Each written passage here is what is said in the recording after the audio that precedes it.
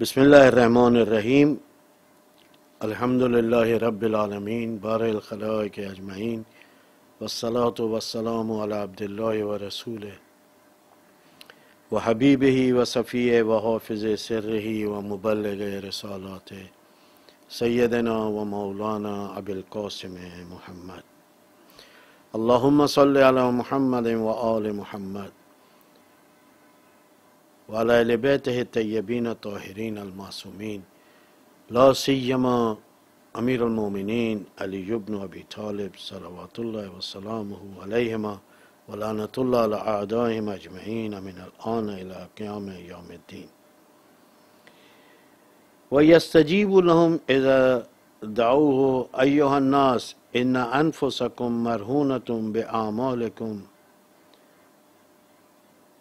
ففکوها بإستغفاركم وظهوركم ثقيلا من أوزاركم فخففوا عنها بطول سجودكم واعلموا أن الله أقسم بعزته أن لا يعذب المصلين والساجدين وأن لا يروعهم بالنار يوم يقوم الناس لرب العالمين. پروردگارہ تیرا شکر بجا لاتے ہیں کہ تو نے ماہ مبارک رمضان کو درک کرنے کی توفیق عطا فرمائی۔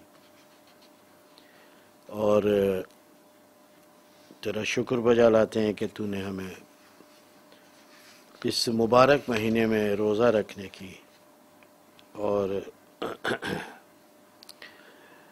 توفیق عطا فرمائی، اپنی عبادت کی توفیق عطا فرمائی۔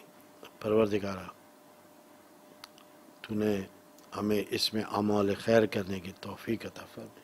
ماہ رمضان میں تھوڑے دل جو ہیں وہ کھچے ہوتے ہیں اللہ کی طرف۔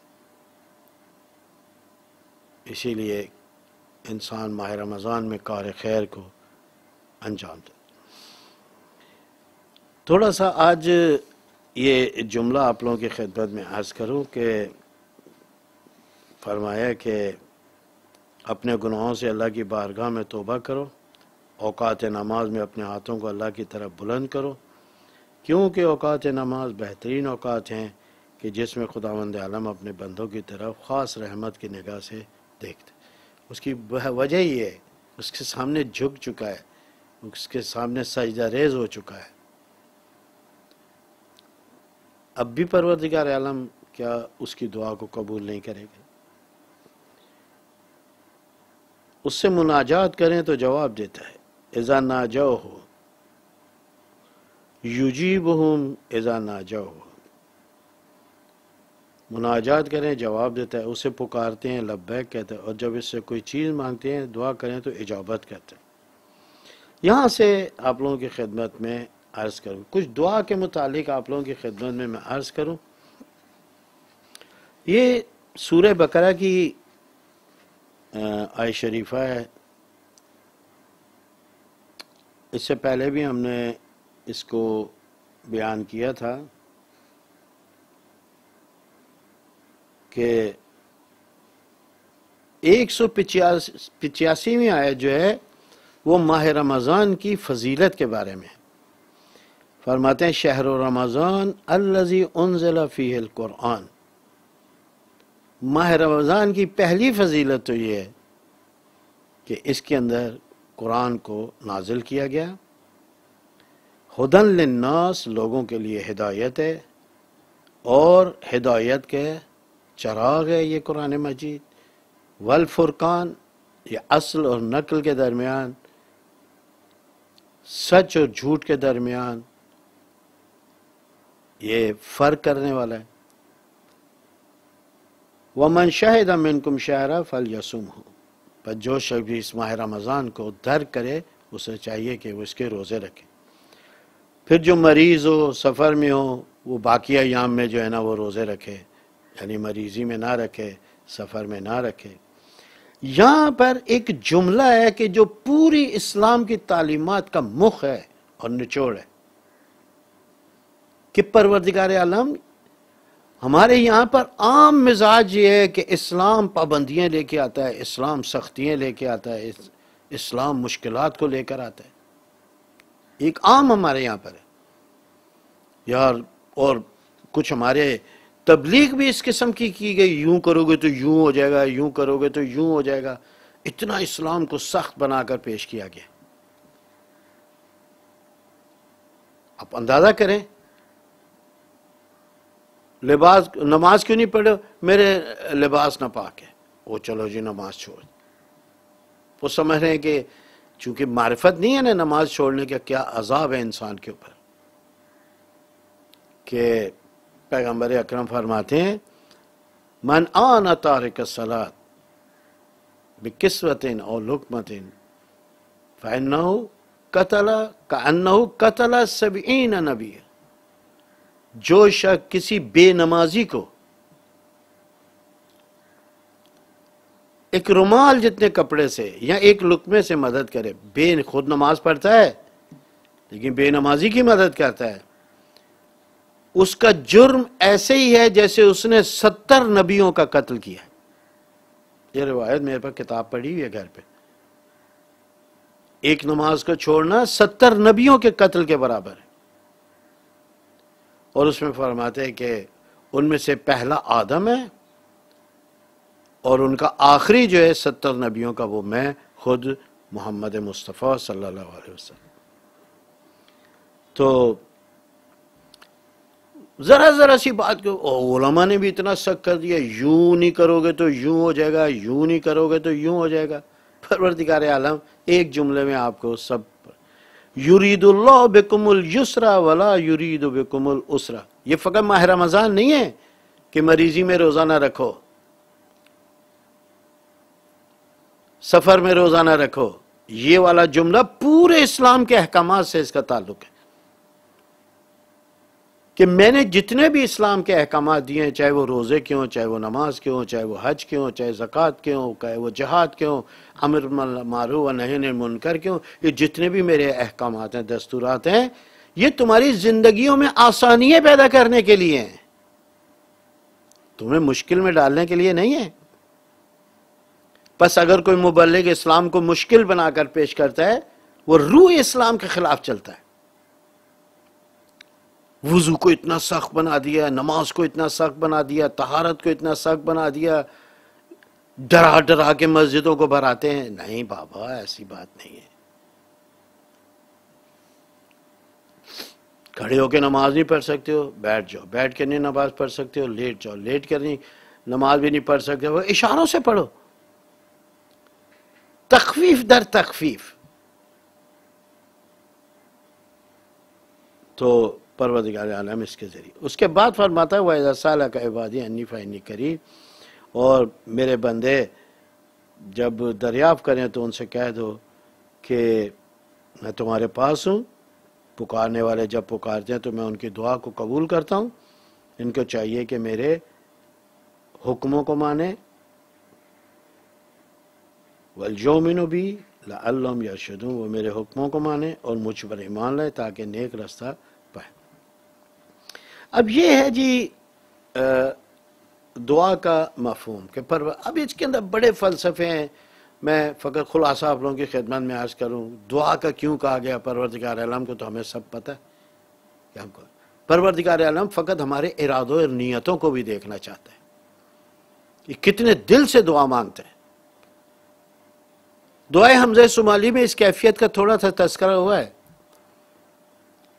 اور اس کے بعد اور بھی بڑے فلسفے ہیں۔ شاید پروردگار عالم اپنے بندے کے آواز کو سننا چاہتا ہے۔ وہ چاہتا ہے کہ وہ اس سے گفتگو کرے، اس سے داز و نیاز کرے۔ جیسے کہ جناب یوسف اور دوسرے انبیاء نے آدھی آدھی رات کو بیٹھ کے مناجات کر رہے ہیں، گفتگو کر رہے ہیں اللہ سے۔ اللہ کو یہ پسند ہے کہ میرا بندہ مجھ سے گفتگو کر۔ بعض اوقات پروردگار عالم دعاؤں کو قبول نہیں بھی کرتا، اس کے بھی بڑے فلسفے ہیں۔ بعض اوقات وہ دعا اس کے لیے اچھی نہیں ہوتی۔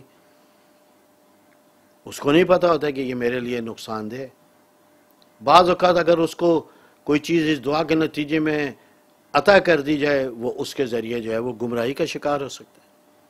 جیسے کتنے لوگ ہیں جن کو اللہ تعالیٰ نے مال عطا کیا، جب تک غریب تھے، پابند سوم و سلاد تھے ان کے گھر میں پردہ تھا، حجاب تھا عبادت تھی، روحانیت تھی، معنویت تھی، ذکر خدا تھا۔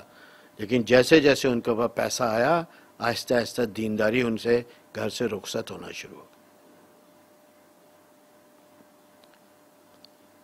یہ بھی ایک عذاب الہی ہے کہ مال عطا کرتا ہے، دنیا عطا کرتا ہے، پھر اس سے اپنے ذکر و فکر کی لذت کو چھین لیتے تو ایک یہ بھی فلسفہ ہو سکتا ہے کہ بعض اوقات دعا جو ہے، اس کی قبول نہ ہونے کی بہت ساری وجوہات بھی ہیں۔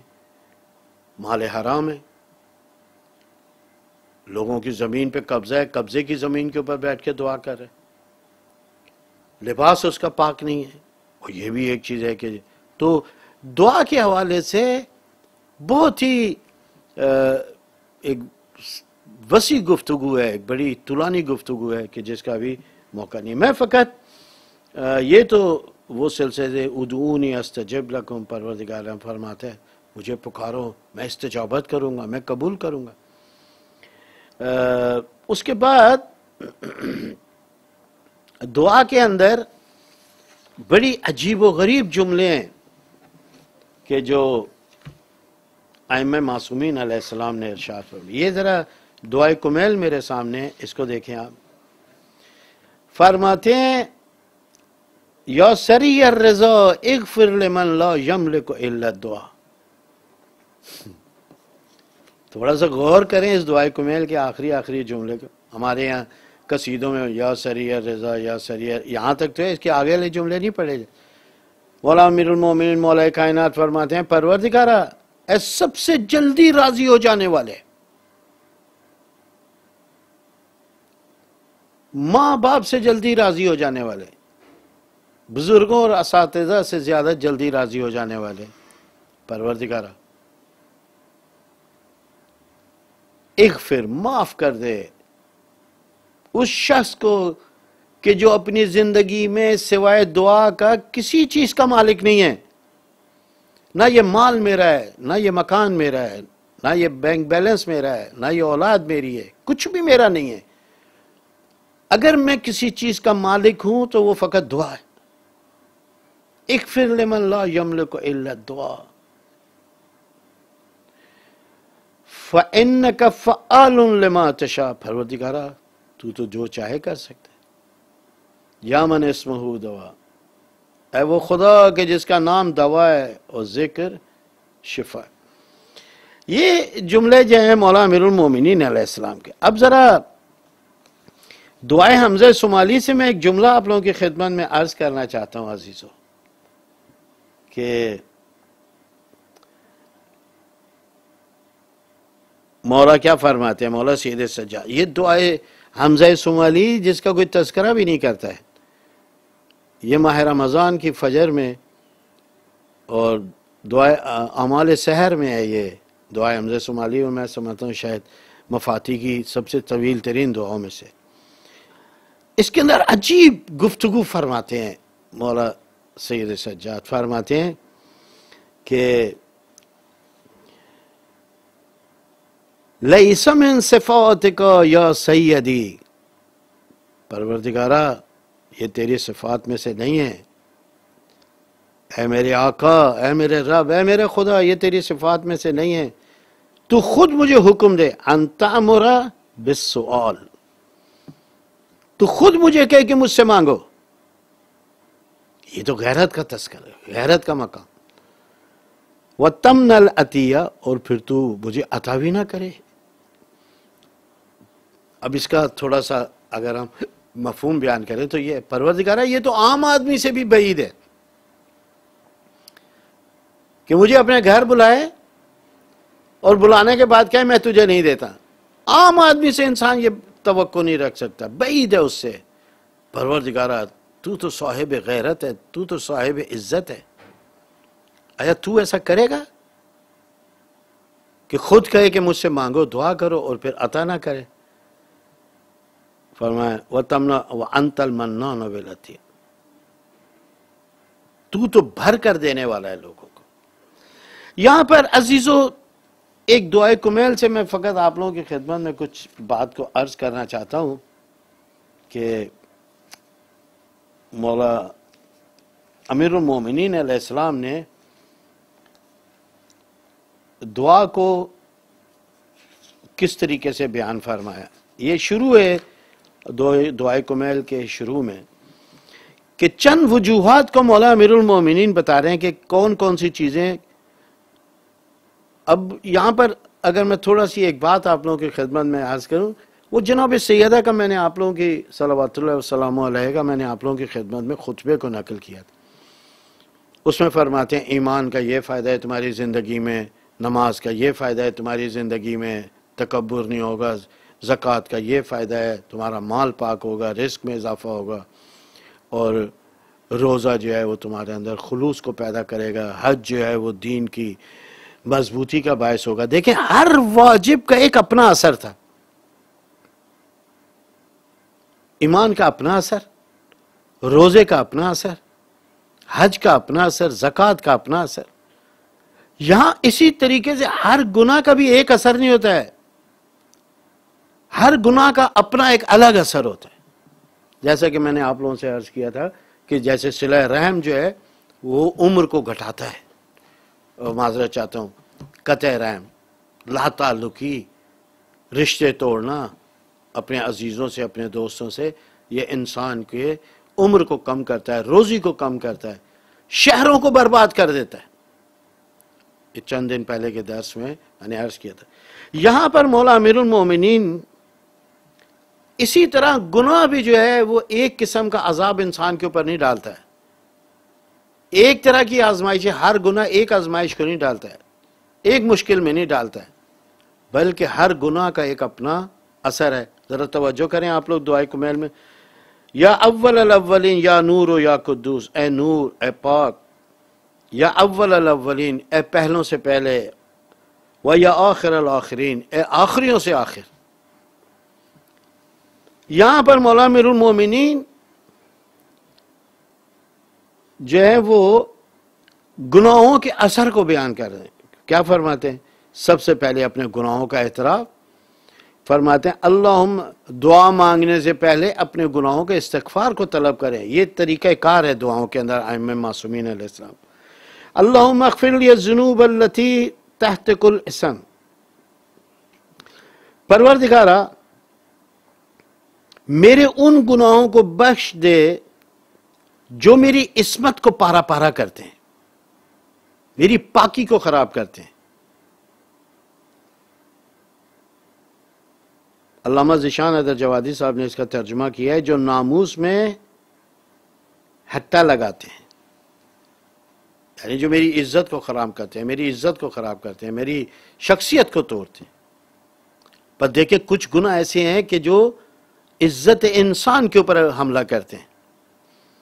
اس کے بعد فرماتے ہیں کہ پروردگارہ، اللہم اغفر لی الزنوب اللتی تنزل النکم۔ کچھ گناہ ایسے ہیں کہ انسان کی اوپر بلاؤں کے نازل ہونے کا سبب بنتے ہیں۔ کچھ عزت کے اوپر حملہ کرتے ہیں، کچھ بلاؤں کو نازل کرتے ہیں۔ دیکھا آپ لوگوں نے، ہر گناہ کا ایک اثر نہیں ہے۔ اللہم اغفر لیا ذنوب اللتی تغیر النعم۔ اب اس کے اوپر تو بڑی ایک تفصیلی تحقیقی گفتگو ہونی چاہیے۔ پروردگارہ، میرے ان گناہوں کو بخش دے کہ جو نعمتوں کو تبدیل کر دیتے ہیں۔ ایک گھنٹہ پہلے میں صحت مند تھا، ہارٹ اٹیک ہو گیا۔ کل تک میں امیر تھا، غریب ہو گیا۔ کل تک سارے میرے ساتھ تھے، آج میں اکیلا ہو گیا۔ یہ نعمتوں کی تبدیلی ہے، یہ اللہ نہیں کرتا ہے۔ یہ انسان کے گناہ ہے کہ جو انسان کے اوپر سے نعمتوں کو تبدیل کر دیتے اس کے بعد فرماتے ہیں، اللہم اغفر لی الذنوب اللتی تحبس الدعا پروردگارہ میرے ان گناہوں کو بخش دے۔ جو دعاؤں کو قبول نہیں ہونے دیتے۔ ابھی عرض کر رہا تھا کہ مال حرام، غصبی جگہ، یہ وہ چیزیں ہیں کہ جو انسان کی دعاؤں کو قبول نہیں اللہم اغفر لی الذنوب الل- یہ دعائے کمیل ہے شروعات میں اللہم اغفر لی الذنوب التي تنزل البلاء. پروردگارہ میرے ان گناہوں کو بخش دے کہ جو بلاؤں کو نازل ہونے کا سبب بنتے تو جس طریقے سے ہر واجب جو ہے، اس کا اثر الگ ہے، اسی طرح ہر گناہ کا اثر بھی الگ۔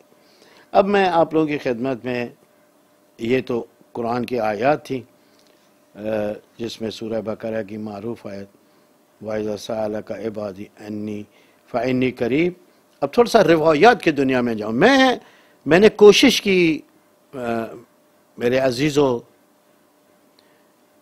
کہ میں آپ کو اہل بیت اور قرآن کی تعلیمات کا ایک تھوڑا سا سیر کراؤں۔ کہ کتنی بڑی دنیا ہے یہ۔ اور مجھے بڑے افسوس سے کہنا پڑتا ہے کہ ہم نے اپنے ممبر سے اس حق کو ادا کرنے میں بڑی کوتاہی کی ہے۔ ہم نے اپنے ممبر سے اپنے دروس سے نیچ البلاغا کوئی بیان نہیں کیا۔ انشاءاللہ آ، کچھ عرصے کے بعد میں یہ سلسلے کو شروع کروں گا۔ آج بھی میں اپنے دوستوں کو کہہ رہا تھا کہ اگر لوگوں کے اوپر پاس فقط نہج البلاغا کے خطوط پہنچ جائیں، تو پینتالیس چھیالیس خطوط ہیں۔ ان میں سے چار پانچ تو بڑے ہی اہم ہیں۔ دنیا تک اگر یہ خطوط علی کے پہنچ جائیں اور خاص طور پہ عثمان ابن حنیف کو جو خط لکھا، یا جو عہد نامہ مالک اشتر کو لکھ کر دیا جب جناب مالک جو ہیں وہ مصر کی گورنری کے لیے جا رہے تھے، وہ شاہکار ہیں۔ پوری دنیا عاشق علی ہو جائے گی۔ ہمارے یہاں پر عدل و انصاف کی باتیں کر رہے ہیں۔ وہاں پر مولا نے فرمایا، مالک، اپنی نگاہوں میں بھی عدل رکھنا۔ یا سب کو پیار سے دیکھنا، ایک نظر سے دیکھنا۔ اپنے مسکرانے میں بھی عدل رکھنا۔ ایسا نہ ہو کچھ لوگوں کو دیکھ کر منہ بنا کے بیٹھے رہو اور کچھ لوگوں کو مسکرا کر دیکھ۔ یہ عدل کے خلاف۔ یہ والا عدل تو علی یا اب فرزند علی آئے، امام زمانہ وہی قائم کر سکتے۔ مجھے یاد ہے مدرسے فیضیے میں میں بیٹھا تھا، تو دو علماء میں اختلاف تھا۔ وہ کہہ رہا تھا میں نے اتنے پیسے دینے، وہ کہہ رہا تھا نہیں، اتنے دینے۔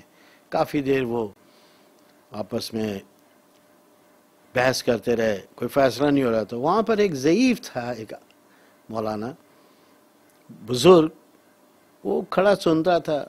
انہوں نے کہا، یار، تھوڑی دیر میری بھی سنو۔ اور ایک جملہ فقط اس نے کہا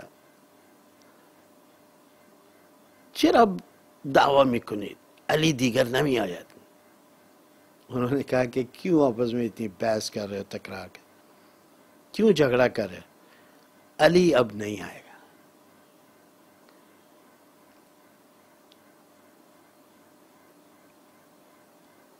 شدت عدل باعث قتل علی۔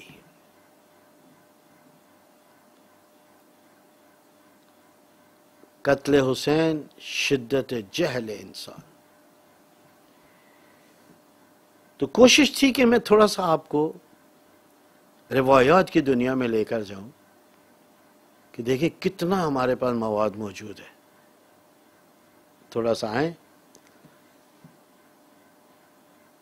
دعا دیکھیں روایات میں کس طرح بیان ہوا ہے۔ پیغمبر اکرم حضرت محمد مصطفیٰ صلی اللہ علیہ وسلم فرماتے ہیں الدعا صلاح المومن مومن اگر اپنی حفاظت کرنا چاہتا ہے تو اس کا ہتھیار اس کی دعا ہے۔ جیسا کہ مولا امیر المومنین نے دعائے کمیل کے آخر میں فرمایا وَصِلَا البکا کہ مومن کا آخری ہتھیار جو ہے، سب سے بڑا ہتھیار، وہ تیری بارگاہ میں گریا ہے، آنسو بان ہے۔ تو پیغمبر فرماتے ہیں کہ الدعا صلاح المومن و عمود الدین، دین کا ستون ہے دعا۔ جن بھی حالات کے اندر آپ لوگ اپنے ہاتھوں کو دعا کے لیے بلند کریں پروردگار عالم ان کو رد نہیں کرے وہ نور السماوات، یہ جو دنیا کے اندر زمین و آسمان میں، یہ جو پوری روشنی اور نور بکھرا ہوا ہے، یہ انسان کی دعاؤں کا نتیجہ ہے۔ اس کے بعد مولا فرماتے ہیں، امیر المومنین علیہ السلام الدعا مفتاح الرحمہ رحمت کی چابی دعا ہے۔ وہ مصباح الظلمہ ظلمت کے اندر نور، جو ظلمت کو ختم کرے گا، وہ دعا ہے۔ اس کے بعد آپ لوگوں کی خدمت میں عرض کروں کہ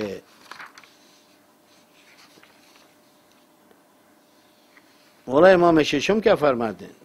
افضل العباد الدعا کا دعا سے بڑی کوئی بھی عبادت نہیں ہے۔ اگر انسان آج نماز پڑھ رہا ہے، روزے رکھ رہا ہے، یہ بھی اس کی دعاؤں کا نتیجہ توفیق کی دعا کی۔ حضرت امام رضا علیہ السلام سے نے فرمایا، علیکم بصلاح الانبیاء۔ انبیاء کا اسلحہ اختیار کرو۔ انبیاء کا اسلحہ اپنے پاس رکھو۔ کیلا ما صلاح الانبیاء۔ یا فرزند رسول، انبیاء کا اسلحہ کیا ہے؟ قولا الدعا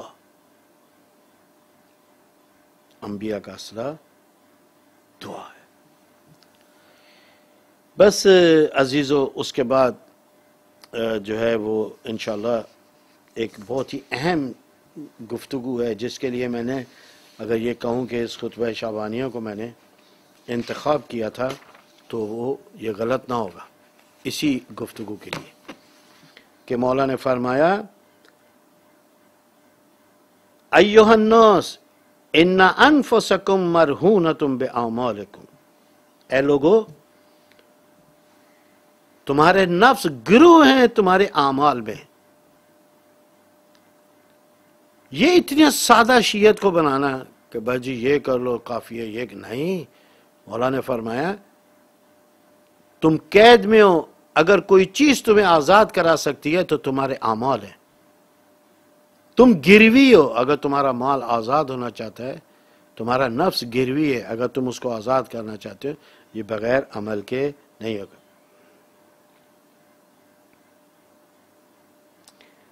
ففکوہا بے استغفارکم اور ان کو بے عمالکم اور ان کو آزاد کرو۔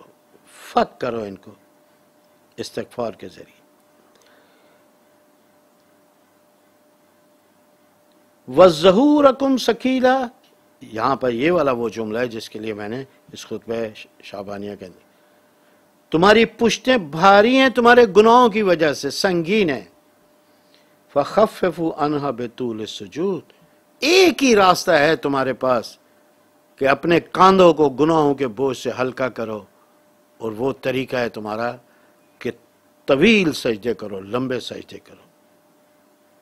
جب تک تم لمبے سجدے نہیں کرو گے، اس وقت تک تمہارے پشت اور تمہارے کاندھے گناہوں سے ہلکے نہیں ہوں گے۔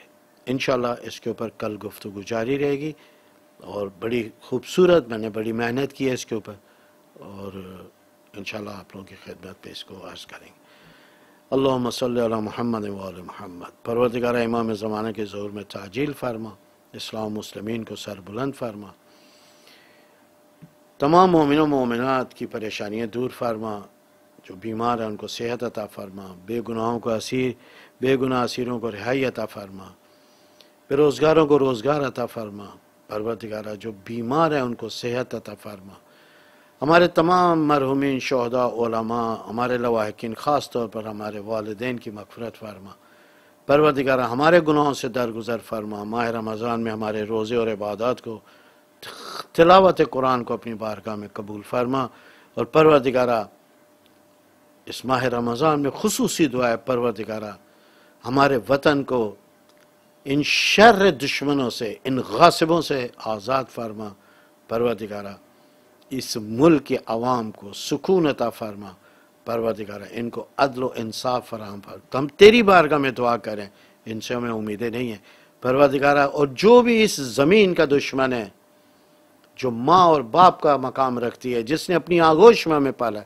پروردگارہ، جو بھی سرزمین کا دشمن ہے، کسی بھی طرح، کسی بھی عنوان سے، پروردگارہ، اس کو ذلیل و رسو نابود فرما اللہم صلی علی محمد و آل محمد و اجل فرج